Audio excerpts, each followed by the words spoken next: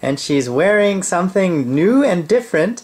So she looks a little bit like a monk with a robe and we're basically wearing nothing underneath.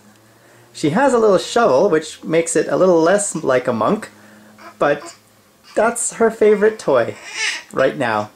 Avi, can you look at the camera? Look at the camera, baby. Come, come. Avi, She's can you come closer? So here we are with Eve and Mummy, and Avi has started walking with her hands behind her back. Let's take a look. Uh-oh, we can't get around her back. Let's see if we can see what she's doing. There she goes.